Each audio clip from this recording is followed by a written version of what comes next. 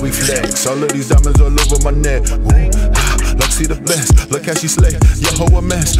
What's good, family? It's your man, Free Tha Sinner. You're now tuned in to Sinner TV. So today, Loni Love goes on the real and she says that she thinks black successful men make in the black excuses community, about being faithful. Wanna, you know, Here's I don't speak for the black Check community, but I do think that a lot of black men they really don't know how to have true, faithful relationships. They think because they have money, because they have power, that they can treat women any kind of way. Loni Love is saying things. And that is something we need to work on. We need to work on Uh, that. That together. money and power does not mean that you I can guess. just do whatever I think you want to sadly in so many cultures that is the whole Yes. machismo thing. Like Yes. that is that Yes. goes across the board. But I, I'm gonna No, say it's not across the board because what is happening is that we are still dealing with the point of uh, slavery.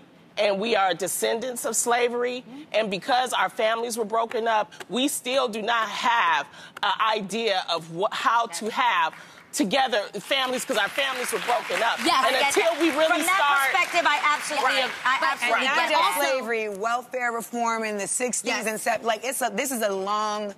Ooh. Longer So when you get when they you hear um, when because I want to say when you hear Joe Budden say, you know, well, you know, he worked so hard. It- it's not a bad thing. He's saying, you know, Kevin don't want to be poor no more.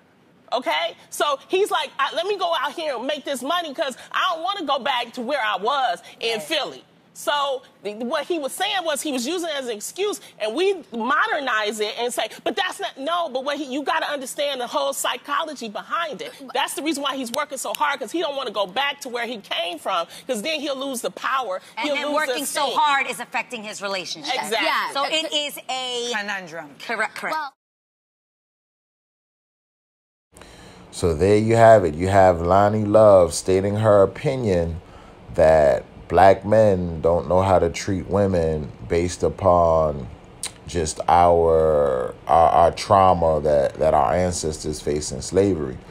Now, I have to disagree with her on certain points. Like I get what she's saying, but she is generalizing all black men. Even though she says she doesn't speak for the community, you're still a representation of the black community. So when you say something to that extent, like, oh, some black men, but then when you have Adri- uh, Adriana say, you know, it's not just black men, it's across the whole board, you shut down her statement and you go back to no, it's just us. So you are speaking for for the community, Loni.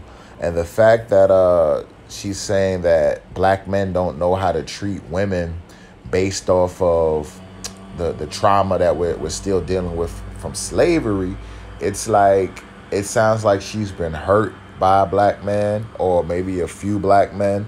And this is just her projecting that hurt out on the entire race of black men. Because you got to think about something. If black men don't know how to treat women because our families were broken up and things like that during slavery this you can say the same thing about black women not knowing how to treat black men. So where's that topic of discussion? Because black women were also slaves their families were also broken up they were raped they were abused. So it's like it's a double it, it should be it, it should be uh on both sides of the fence. But this here, you can see, in my opinion, she's just projecting her hurt that she's faced from black men. So I don't agree with what she's saying totally. I think it's something across the board. I think a lot of men in general, we based on uh being ro- being uh being raised by broken other broken men and other broken women and taught bad habits about love and, and things like that and uh, how to treat the opposite sex. I believe that's where a lot of people get their their j- just the, just their poor behavior and their poor ethics and their poor morals on how to treat not just women but people in general. You know what I'm saying? Just knowing how to tr- just not knowing how to treat people in general. I believe is something passed down. Like yes, it can be from the traumas of slavery, but if it's from the traumas of slavery, it has to be on both sides. So I'm free to center.